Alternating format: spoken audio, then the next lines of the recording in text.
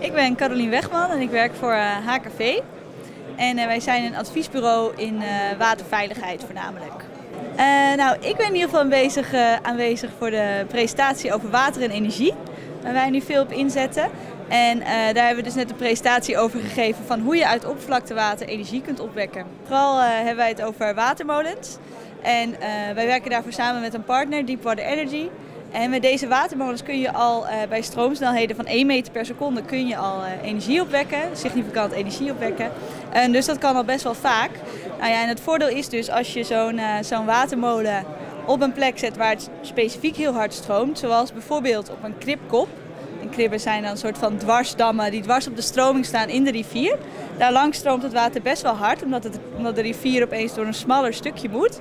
Eh, en als je op zo'n plek nou een watermolen neerzet, dan kun je en energie opwekken, want het kan mooi uh, getransporteerd worden naar het land, omdat die uh, dijk er eigenlijk al ligt, die dam er eigenlijk al ligt. En je kunt ook nog eens uh, andere problemen oplossen andere beheerproblemen van het gebied. Bijvoorbeeld erosiekuilen, die uh, treden vaak op bij, uh, bij kribben. Omdat het daar opeens zo hard stroomt, neemt het ook meer sediment mee op die plek. En dat legt het ook ergens anders weer neer. Maar als je zo'n watermolen neerzet, dan kun je met het ontwerp sturen aan uh, waar, die waar je die stroomsnelheden groot wilt hebben. En daarmee eventueel ook de erosiekuilen problematiek misschien verminderen of zelfs oplossen. Bijvoorbeeld bij de waterkrachtcentrale van uh, en ook uh, bij een kripkop in de IJssel gaat getest worden.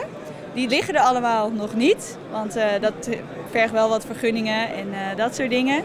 En ook bijvoorbeeld um, waar we ook mee bezig zijn is om zo'n watermolen neer te zetten in het zogenaamde Tidal Technology Center in de Gevelingendam. Daar hebben wij dan specifiek voor gemodelleerd en dan haal je dus eigenlijk die stroming uit de waterstandsverschillen die optreden tussen eb en vloed.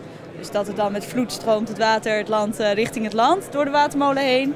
En met eb stroomt het juist weer naar zee en dan uh, stroomt het water weer terug. Maar het zijn allemaal wel, best wel een lange aanloop voordat het uiteindelijk ligt. Maar op zich zijn ze uh, visvriendelijk, als het goed is. Dus dat is alvast een belangrijk obstakel dat dan overwonnen kan worden. waterschappen die wekken al best wel veel duurzame energie op. Maar meestal uit biomassa, afvalwaterzuivering. Uh, daaruit halen ze best wel veel duurzame energie. En wat we ze eigenlijk willen laten zien is dat je uit oppervlakte ook significant energie kunt halen. En niet alleen als je in Limburg uh, het waterschap bent, maar ook zeker als je gewoon in de getijdenzon zit. Of over uh, kunstwerken waar, waar toch wel een flink verval in zit. Waardoor je daar ook best wel energie op kunt wekken. Dus eigenlijk de mogelijkheden van energie uit oppervlaktewater voor bijna iedereen.